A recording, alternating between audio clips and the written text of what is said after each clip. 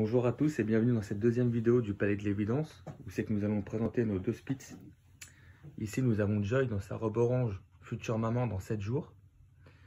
Et ici nous avons l'étual qui est déjà maman de 4 petits bouchons, un mâle et 3 femelles qui ont 3 semaines. Que nous pouvons voir un petit ici et les trois autres ici.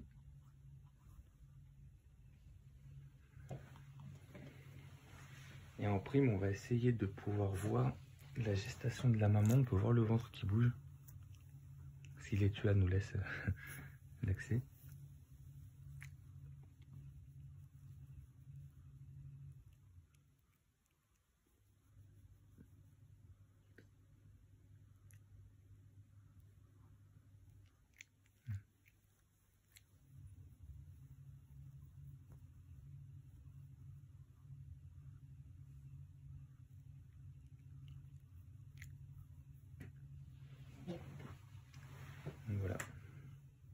Nos deux, euh, nos deux Spitz.